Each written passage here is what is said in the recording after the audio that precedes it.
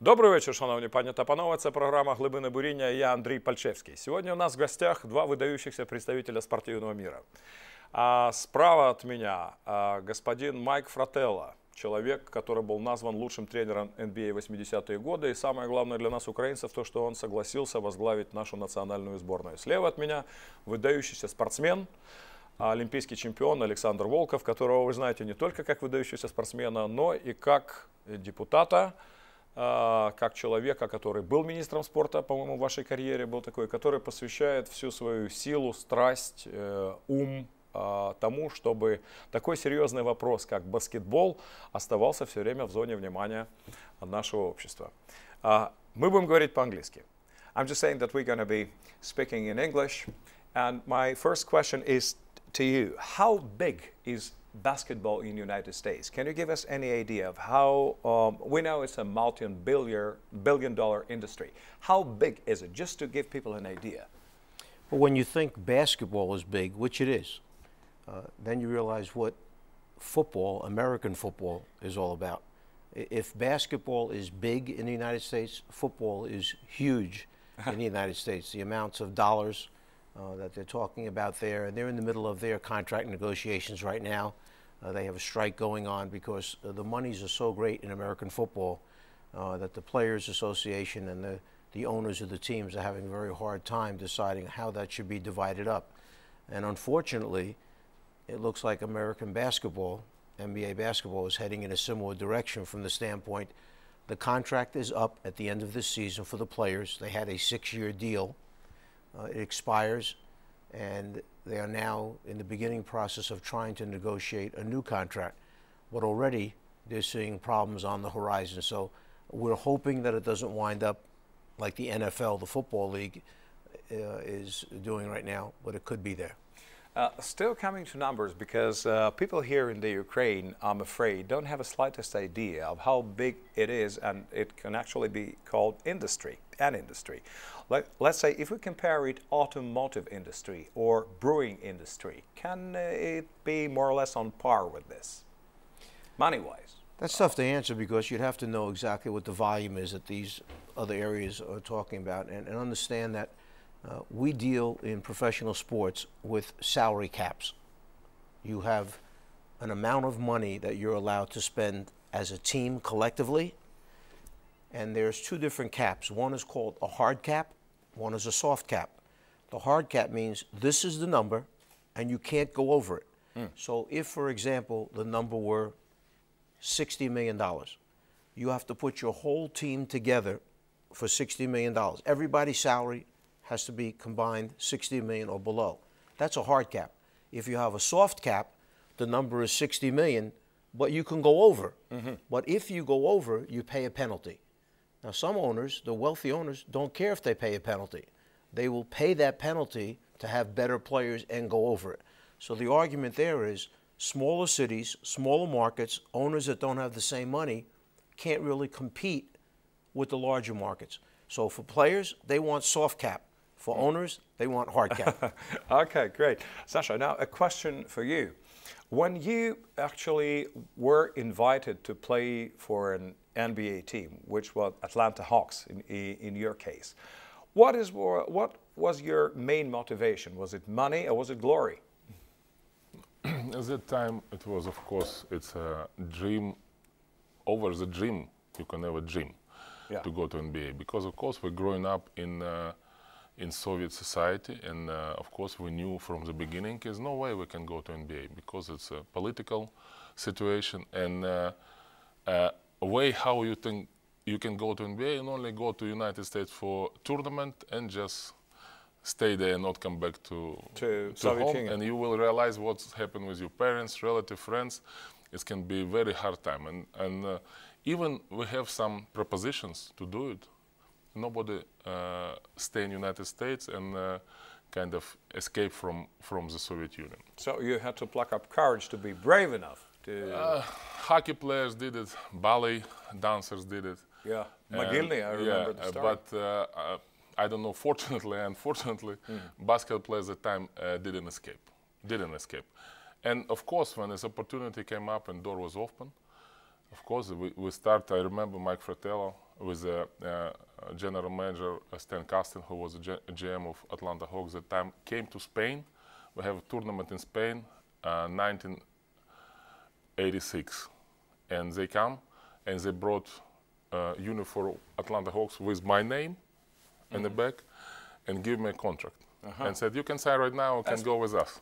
we're not, it was easy. Yeah, yeah, we're not pushing. It's very yeah. easy. Very easy. Of course, for that moment, 80, 86, this amount of money I see, I was almost, I have to hold something to not fall in, a, in unconscious. and to see my, uh, my NBA uniform with my name, it was even even worse. So, so you're not thinking of money then? Which, no, no. Un, unlike, and this Mine, is what. Uh, I'm just sorry for interrupting because this is what we talk about. We, the general public, talk about now that lots of sportsmen who go to play, be it NBA or any place abroad, be it basketball, soccer, or we don't play American football yet, but probably after hockey. the show when they realize that it's huge, as you say, maybe it will be a big motivation for somebody. Then uh, we have this feeling that a lot of players actually leave not because of glory, not because they want to be great, but because they are after money, which, which is. Uh, well, it's uh, from our point of view, uh, it's not always that welcome. Uh, I wanted to, to ask uh, Mr. Fratello a question.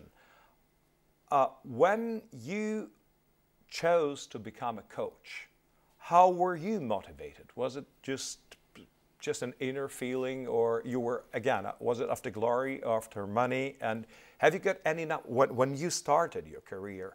Did you have any big numbers? Because we always think in terms of millions, billions of dollars. Some, some basketball players are billionaires. I think Michael Jordan has a billion dollar fortune, something like that, maybe more. Correct me if I'm wrong. Michael Jordan has done very well. He's, yeah. not, he's not suffering today financially. uh, but, That's good. That's good. But Michael Jordan also is a great example of a player who had a commitment, a player of character, okay, a person of strength, inner strength because Michael Jordan, after his first couple years, had achieved so much, way more than people thought he might achieve at that point.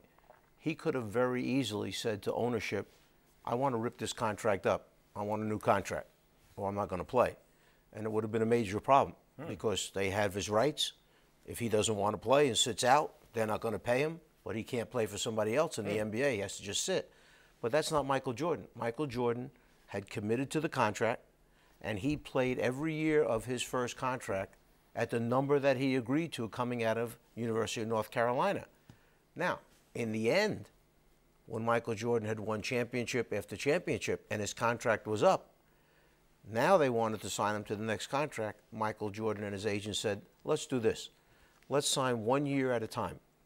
I play next year, we agree on the money. So he was a smart businessman. We play the next year, we agree on the money. So Michael made up at the end for maybe what he didn't get in the beginning. But to me, the most important thing is it was his character. It was that he understood, he signed his name, and he's going to stick by what that name means on a piece of paper. It's an agreement that they had.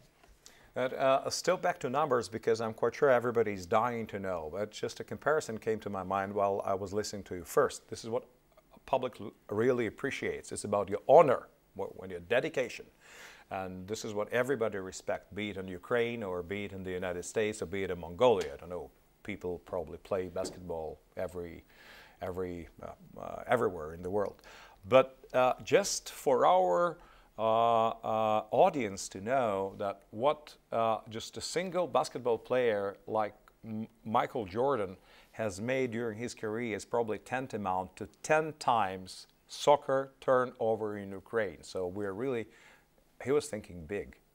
And uh, when you have a sneaker brand named after you, when Nike, when Nike does gives he? a division, oh. there's the Michael Jordan division of Nike. Yeah. That tells you that, you're, that you're pretty big. Okay, so you have that piece of Nike alone.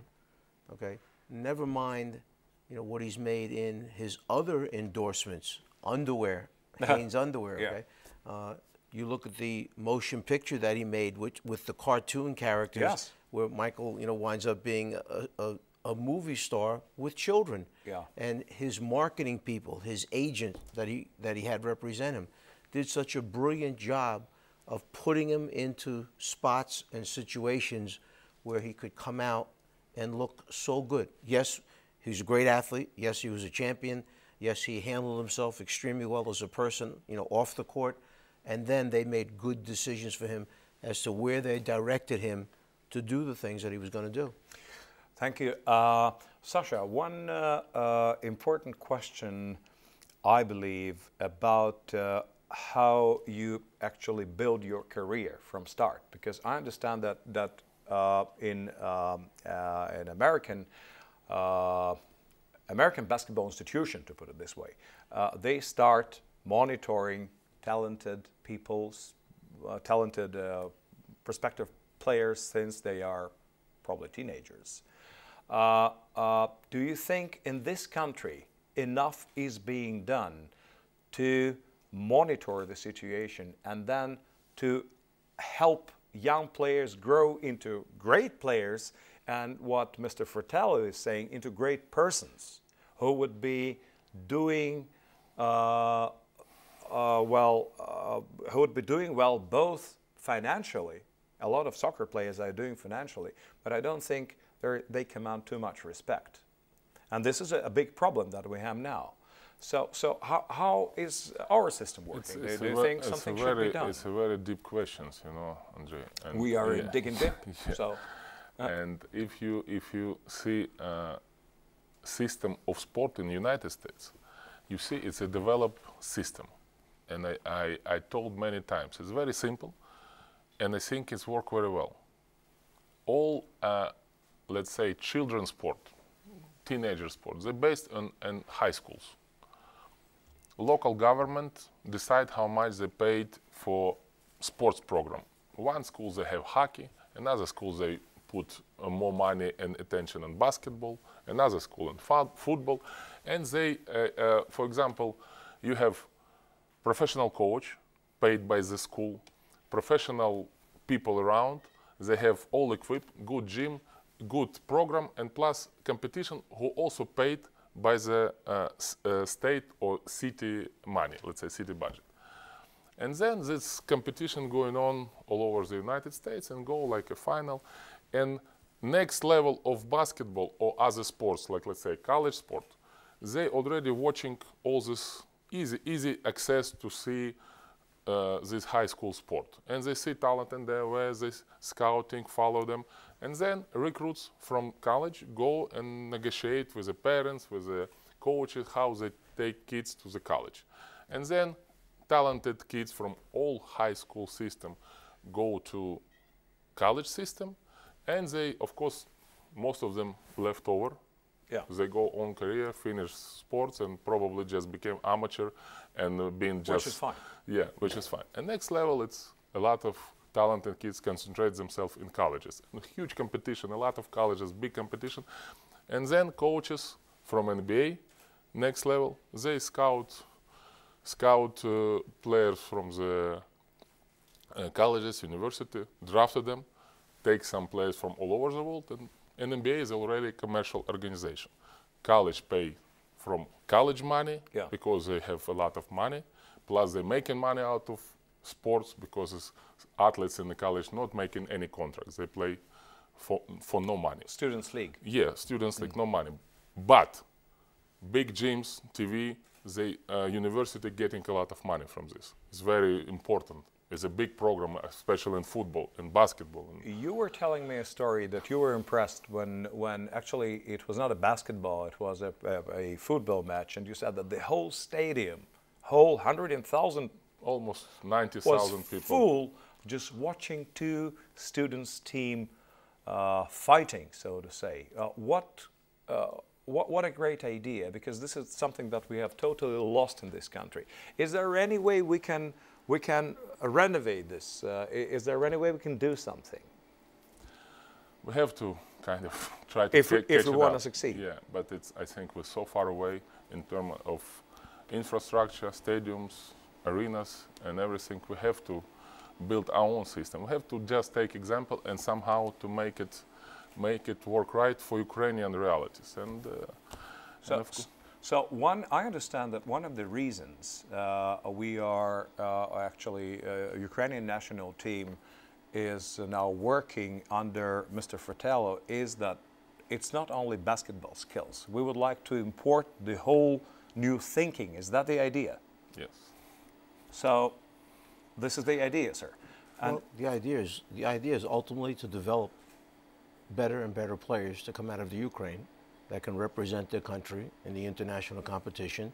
And hopefully their individual goals would be that they're good enough to play at the highest level of basketball. If it's the NBA, then that should be their dream to reach the NBA. But in reaching the NBA, they should not forget about their country. So when the opportunities come up to represent their country on national teams, whether it be the World Championship or the Olympic Games or the European Championships, they still have their contact, their heart and soul is still with their country, even though they may be earning their living, okay, somewhere else in the NBA playing against the top competition, which we see in soccer all the time. People from Brazil are playing in Spain, and yeah. from Italy are playing. That's where uh, they Alexander playing in Greece. We saw that too, or in Italy. yeah, so that I mean that's what we're trying to do. Is uh, we, we'd like to try to set a platform and develop a system whereby young people continue to grow, develop. Uh, as Sasha was just saying, uh, not only infra infrastructure, but you also need coaches. You need to develop coaches uh, that can take and teach these fundamentals. And that goes back to what I had said earlier about uh, some countries have better youth programs and developmental programs at an earlier age, and other countries do. Uh, and somebody has to start it somewhere. It's a very great undertaking. A lot of people have ideas, but they don't know how to follow up on the ideas.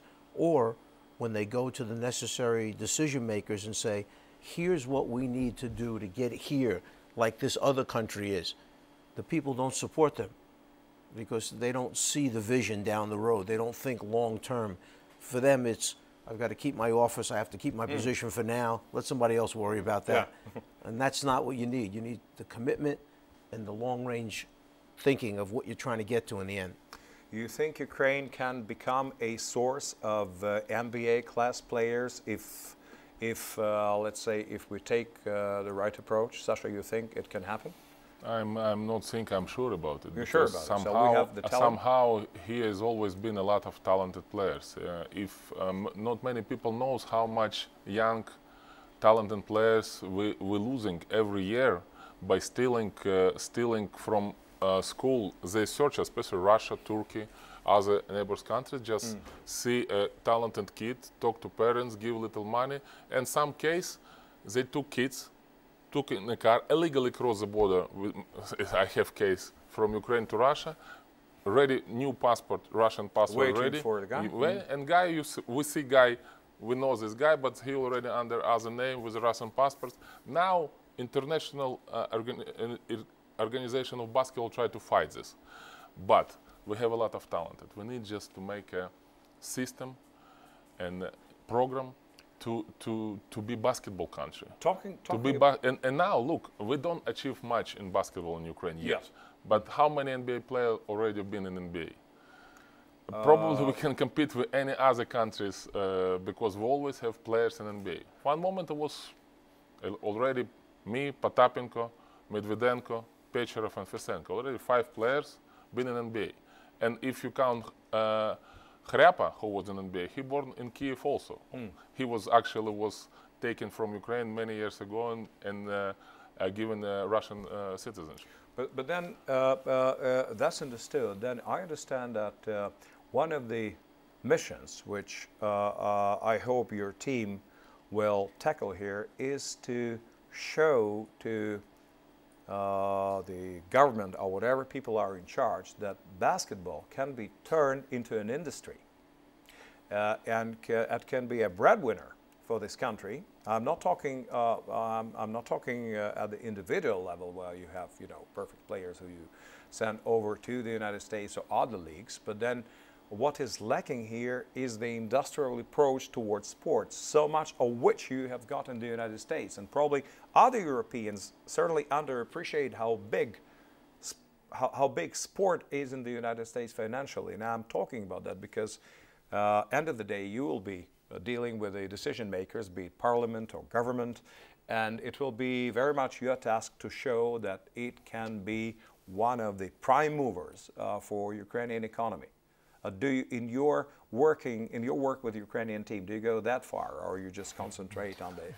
Well, well, well. I mean, I'm thinking big. Let me answer it this way. Um, somebody who has great vision down the road takes that question and understands the importance of finding the next star. Yeah. Who is our next star from this country? Because when you find that young star and he develops, that star, as he goes along the way, attracts endorsements. He attracts big business people that want to associate with him. And you can bring in the auto industry. You can bring in all the different industries and, like and economy is produced. Like Klitschko did in this country. Uh, you know, Ronaldo in, in you know, soccer, for example, okay? Those kinds of names, you go back, Maradona and stuff like that, where they become so great. They're such big figures, okay, and the images of them and the success. And as uh, Sasha mentioned before, when you have the exposure that high school, college, and NBA players have in the United States, uh, to divert for a second, one of the problems in NBA right now is so many players leave after just one year of college, maybe two years.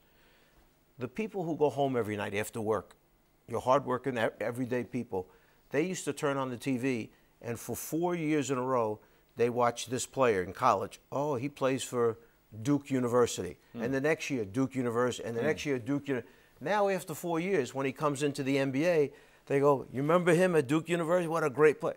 Now they're in for one year and gone. And when they come to the NBA, Unknown. not a lot of people know who it is. So, how many sponsors are willing to jump on with a young man that they're not sure is he going to be good in the NBA or mm-hmm. not?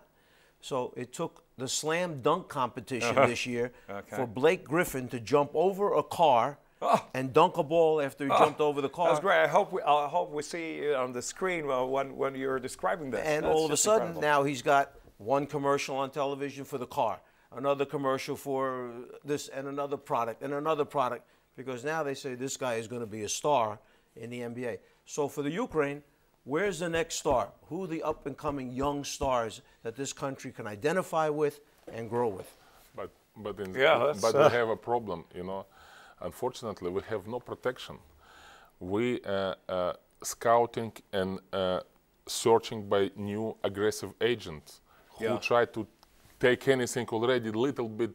Uh, they see a little bit uh, a future of players. They already put jump on, jump on him. Talk to the parents. Usually, parents has not from not from rich, uh, uh, you know, families yeah. and everything, yeah. and that players became uh, killed young players by agent, unprofessional agent, and unprofessional pressure, and they thinking, okay, maybe I'm already good enough to go somewhere to play. They don't understand. Stay here, develop yourself, be a star like Mike said.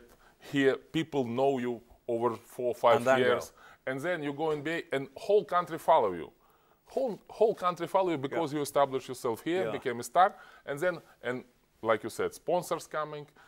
We have Klitschko, Shevchenko case. It's it's it's we have to find. I am agree completely. We have a star. Without star in any sport, sport's not going up. Speaking about careers in sports, as we are as we as we both know, because I used to work for sports ministry too. Uh, uh, in post-Soviet sports, you normally have two types of careers. First, uh, you become an entrepreneur, something like uh, Klitschko is doing, who is still a great sportsman and he's a great entrepreneur, but he is an exception. Probably 3% of successful sportsmen become what he has become. And 97, the rest of 97, then, then they become bureaucrats in sports. Uh, uh, how does it work in the United States when a young person like Sasha, for example, has made a lot of money, you know, dozens of millions of dollars. How is he taken care of by, by NBA? Is he taken care of by a special council which provides advice as per how his earning uh, should be used for him? Because the failure rate in soccer, for example, even places like Germany, is something like 70%. It's just incredible. People make millions, soccer players, and then by the age of 40, they're broke. Uh, I'm quite sure this is what is happening in this country. How does it work in NBA? Because we are told all those stories that you teach people how to drink water, use fork and knife, say hello. Uh, but are they? Uh, do they have any financial advisors? That's that's the question. I think the NBA does one of the best jobs of, of professional sports in any country at starting out with a player when he's first coming in, giving him guidance, meetings that they have to have with rookies uh, about everything about your money, your investment, uh, protecting it, about life every day, going out and eating in a restaurant. How do you tip? How yeah. do you order? Yeah. Because everybody's not exposed to the same thing. Everybody how to smile. exactly. Do they... how to greet people. Uh-huh. Uh, how to dress. What's the appropriate dress when you go somewhere? Because backgrounds, okay, and the experiences they've had growing up vary. You have uh, high schools that people attend that are all from very affluent families. Yet you have other high schools where everybody is just trying to pay the Humble. next bill. Yeah. Okay, you're trying to make it, and you have students that they go to school during the day. After school, they're allowed to play their particular sport. Yet other students go to school, and as soon as it's done, they can't play a sport because their parents tell them, "We need you to get a job to contribute because you have seven or eight brothers and sisters combined." So all of that, you know, is important to these young guys coming in. The NBA does a great job of starting them out and trying to give them some direction. Then the next thing is the agents that represent the players must be certified agents. These, these agents that can only take 4% of their 4% money, of their mm. monies that they're paid in their contract. Mm. It didn't always used to be like that. Mm. Guys would cut different deals. I get yeah. 10%, he gets 15%. All right. Now, as far as endorsements, after the contract money, endorsements, a guy might take 20% of your money. You know, if he if he gets you a $500,000 car deal where yeah. you sign a contract for three years, you do commercials on television, you drive the car, you make five five hundred that he may take twenty percent of that for getting you that deal, but that's different than the four percent on your contract only, okay? And then the agents have become more solid citizens now because they have to be certified agents as opposed to there used so, to be some shaky agents. Yeah, we were talking about decency again. Yeah, you know, agents where money would be missing all yeah. of a sudden the players trying to figure out yeah. because the players don't all keep an eye on their money. Now, after the career, what happens? The NBA has done a great job of trying to get former players who want to stay involved with basketball. They have started the NBDL, the Developmental League. It's like a farm system mm-hmm. for the NBA. They try and get these former players to be coaches on these teams. Mm-hmm. You want to be on the coach in the NBA, bench sometime? Yeah. Here's where you start out. Others they've brought into the front office. Others they've made goodwill ambassadors. I mean, to this day, you still see them in their commercials use Bill Russell, Dr. J. Uh, McDonald's uses Larry Bird, a major sponsor for the NBA. They take these former players and try to keep them – in the family. I have seen one of your commercials, by the way, well, and it was about drugstores. We've done a little discount drug here and there. Ah, that's good. But I, I want to tie that in, if I can, to what Sasha's trying to do here. Family, the word family, is very important. Mm. The NBA refers to the NBA family all the time. Sasha, in his efforts to raise money for the national team, the Basketball Federation, because the more money you're able to raise, the more first class you're able to treat your group. Okay, they feel like they're being treated the same as all the other top level teams around the world. And that's important. And I'll give you one example that maybe the people can understand. The greatest chase for a free agent took place this summer, this past summer in the NBA, when LeBron James yeah. was a free agent. Uh-huh. Everybody wanted him. Not everybody could afford him mm-hmm. and he didn't want to go everywhere. So he selected which five or six teams he had narrowed it down to. Whether or not they all had a chance, you don't know that. But at least he gave them a chance to talk. But the selling point in the end to him, what got him to go to Miami in the end, they brought a former player, Alonzo Mourning, mm-hmm. great player. A great player, yeah, sure. Miami I'm sure people know him. had hired Alonzo Mourning, hired mm. him in the organization put him in the front office. When they went to meet with LeBron James, not only did the owner and the president, Micky Arison, Pat Riley, and the head coach, Erik Spoelstra, but Alonzo Mourning came. And Alonzo Mourning sold LeBron James on the fact that if you come to Miami, you are part of a family. They look out for you. They take care of their players. When you walk into Miami's arena, they have a wall, a whole wall that lists every player's name since the beginning of the franchise that ever wore a Miami Heat uniform. Mm. And you look and you go, wow, look how many names have played for Miami. And Miami's a relatively young franchise. Mm-hmm. You know, they've only been around 20 something years in the NBA. Forget Boston's and New York and Philadelphia, the ones who go back to the beginning. So this is what they've done. They've created this tradition. When you're a free agent and you look and you go, where do I want to go play? I want to play for a first class organization. I want to be part of something that's family. And that's what they're trying to create here now. Mm, great. Uh, I was thinking of two issues, Sasha. Now, when it comes to ownership, because this is something people don't know, uh, in uh, countries like Ukraine and Russia, we're used to it that uh, major teams are all owned by what we call oligarchs. Uh, wealthy, they're your favorite word. You remember Sasha was explaining to me what wealthy means after he spent some time in the United States. So by no, well, rich and wealthy, yeah, rich and wealthy, there's difference. So, so those wealthy guys who think in terms of billions, and then as a pastime, more or a uh, quasi-political move, they start sponsoring a certain team, uh, to, uh, turning it into whatever instrument, whatever tool they want to have. Uh, my question is for you. Do you know if American teams are also owned by oligarchs? So are there any exceptions when they're owned by, let's say, city council or just individuals, like in Spain? You know, for example, Barcelona, I think, is 70% owned by individual uh, shareholders. Yeah. So uh, have you have you got yeah, any idea? first, I want to uh, it's not a joke, it's just kind of joke when, when you ask who is rich and who is wealthy. Yeah. It's example in this. LeBron James yeah. is rich.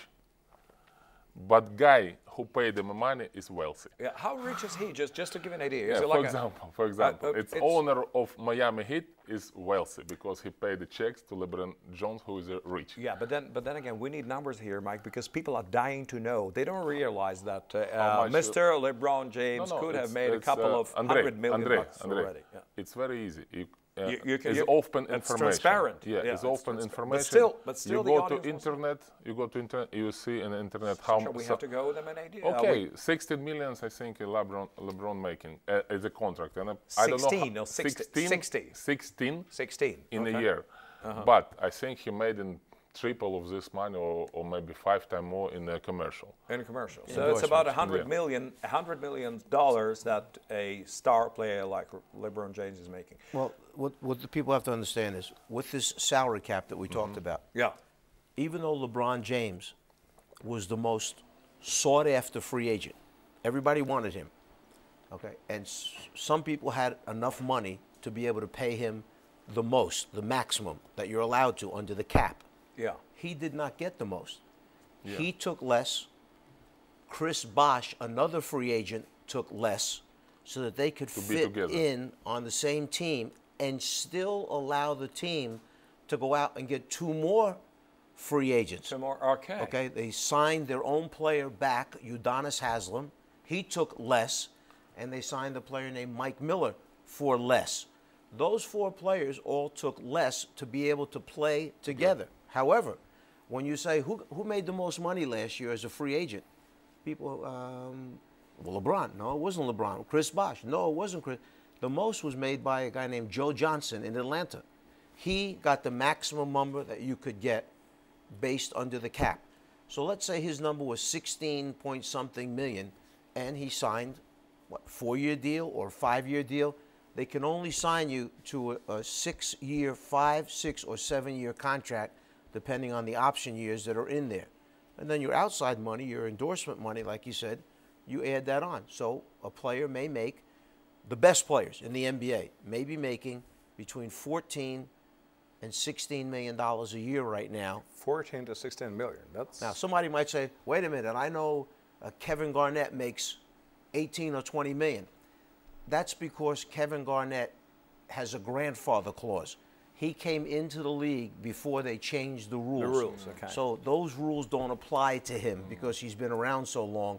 So he can negotiate a different contract. But there's only maybe this many of those people left in the NBA that have those exceptions now that they can make those kind of contracts. You, you For example, you remember when uh, Magic Johnson uh, give up his contract to bring other players to make it, make sure the team uh, gets stronger. Some players give up money just to bring uh, uh partners to be stronger. i but uh, Joe Johnson, like you said, was really criticized in Atlanta mm. because mm. he squeezed him until then. He not give up any dollars just to make 20 something million and not care about if his uh, team will be uh, not strong enough for but, him. But I understand that, thanks God, this is more of an exception than a rule. I think this feeling, family feeling, and this uh, team team spirit that it's still dominating, and people would think twice before taking the best offer. They would rather think of giving the best, providing the best offer for the team if I got you right. This is what we lack so much here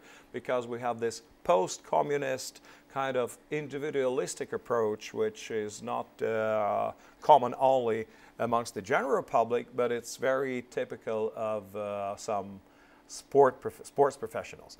Uh, talking about coaching, Sasha, which uh, uh, when when you were not here, and uh, Sasha was telling me that our coaches are okay. But he said, I learned so much within the first period of my NBA stay that we cannot deal without an American coach. Tell me, please, how is American coach, how, how, how actually, how, how does America produce their coaches? Uh, uh, because we have this system where we have physical institutes four years people go, they, uh, they study uh, physical education, PE, and something. But your system is totally different. And could you please dwell upon the clinics? Because this is a misleading uh, word, and you can tell this story what would happen. Uh, Sasha told me the story. You told me the, the, the clinic story that happened in, in the Caucasus. We kind of grow up um, in an environment, you know, we're very fortunate that we can pick and choose at colleges or universities what we want to major in. Do I want to be a doctor? Do I want to be a lawyer? Do I want to be a announcer, broadcaster on TV? Yeah. and you can go to school and major in those things. Yeah. Uh, I know for me, growing up, I wanted to be a coach because you look back at who are the greatest influences on your life. Well, you have female and you have male influences, whether it's your mother, in my case, I had a father, okay, who was a uh, great influence, but a missing father, meaning he worked all he day. Worked he left four in the morning. He would get home late at night from work every day. Uh, yet, he's a very strong man, and I always looked at him and admired him. But the next male uh, influences on me were always my coaches my physical education coaches or my coaches for the sports, young teams starting at Little League, Little League Baseball, Little League Football, basketball, growing up. So for me, it was always, I want to be a coach. coach. I want to be a teacher in the gymnasium, and I want to be a coach. And that's what I set out to do. I never said I want to be a coach at the professional level, college level. I just kind of wanted to be a teacher coach, and a coach. So that's where I wanted to set my goals for. What comes along, sometimes you're not ready for. You don't know. Um, for the people out there that may get a laugh out of this, I thought coming out of college I was going to go into the gym, teach in the gym, and coach. But the school that wanted me to come and coach had no opening for physical education. So they said, We can do this. You have to go back to college real quick for the summer and become certified in driver education. Driver education. And if you good. get a certification, a degree in that, it took uh, four or six weeks, you can come to the school and be full time driver education teacher. I'll, I'll, just tell. So if you want to, if you want to become best coach, uh, best NBA coach of the year, start from driving classes. so that's a good piece of advice. Very, I mean, and, and I wanted to coach. I wanted to go to this high school because it's where I graduated from. I felt a part of it. So I went back took the course, became certified, and then went and taught driver education and coached two sports that first year. But at the end of the first year, I get a phone call and the offer comes from a college and they said, Would you like to come and become an assistant coach at the collegiate level. I, I was like, I, I, don't know. You know, I, I hadn't thought about that. My whole focus was to be good in high school someday. And I actually went to my coach and I sat down with him and I said, What do you think I should do? I have this opportunity. And our coach was kind of like big, a, a, like a big mother hen with his arm, arms around you, and he'd bring his children in all the time. Uh-huh. And he would always try to keep our former players, students, back at the high school. If you wanted to teach and coach at our high school, he would try to get you in somehow. There was great pride, great tradition. And when I sat down with him, he said, he looked at me and he said, You, you should go. He said, You have bigger things that I see in your eyes. He said, You should go and try it. He said, Because you can come back to this someday. Go ahead and try it. So I, I felt like I had gotten his blessing uh-huh. to go and try this. I didn't know what I was trying, but it sounded like it was the right thing to do to go from high school to the next level, which was college. And that's how it worked. Coaches are so important, uh, I'll say, in my life. And I never was a great uh, sportsman, but I played for the city. And uh, uh, my coach is still alive, thanks God. He's 60 plus, and I'm taking care of him because he has. And uh, every time, uh, every time I need a friendly piece of advice, and the guy looks pretty humble, but he only looks humble because deep inside he is a great philosopher and he, he knows, you know, he's street smart, something mm that you don't find in the books. So, and every time we meet, he she just come, comes up with just one humble suggestion. And then I'm thinking, as his, Victor, uh, his name is Victor Kligerman, I hope he's watching us, so I'm saying hello to him. And uh, these coaches are so important in your life. Who was the most important coach of your life, Sasha? I'm telling you, it's, it's really without. Uh, I was blessed to coaches. You know, mm. I was really happy to have coaches what I had. I, I don't think any miss coaches in my career would be maybe direct me in a different way, you know.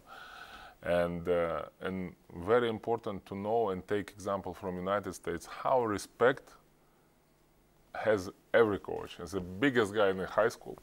It's really? The biggest really? guy. Is that is that what? It's uh, for example, my daughter uh, studying in Auburn, Alabama University is the yeah. biggest football, one of the biggest football, American football uh, university in the United States. They're champion of this last she season. she has a lot of prospective yeah, guys around yeah. them. So but good for coach, her. Coach Chizik, Coach Chizik of the team, uh, football team, college team, he is a god. I mean, uh, really, he is a god. He's most important person in the college.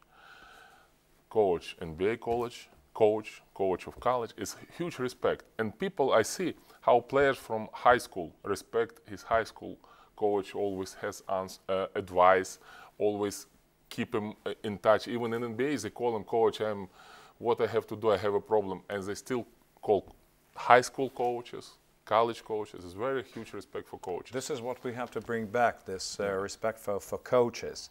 Just before we finish, because uh, uh, tempus fugit, time flies, and uh, one thing that I would like to clarify for the audience very much. I understand that uh, one of your missions here will be to train the trainers. This is what they do in business. So you'll be coaching prospective coaches. Is that right? Am, am I, uh, am I thinking right here? No, we, we are definitely inviting uh, the coaches of the future that uh, Sasha sees as you know, potential people to take over our programs down the road we want them to be part of our practices. We want them to be there with us.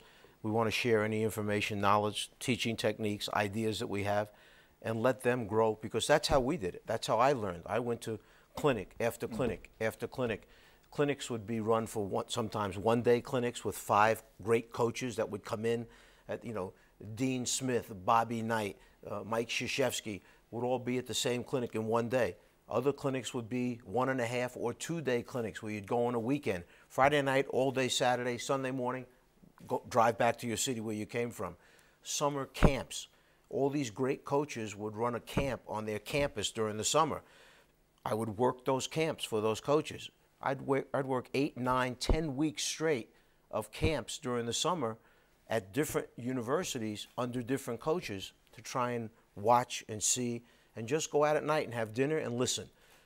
I think you learn the most when you're a good listener and you zip your mouth closed. Okay? when, you talk, when you talk too much, you don't have a chance to All learn. right, I hope this is not, uh, y- y- y- you're not uh, making a hit at me then. No, but, no, but no. this is my job, sir. So, uh, um, uh, uh, just before we finish, uh, uh, one important thing is that, uh, uh, Sasha, you'll probably confirm that if we structurize our basketball, there will always be opportunities. Like if you can become a coach, you can become a color commentator, a very successful, like Mike has done, uh, and he's been monikered uh, uh, Czar.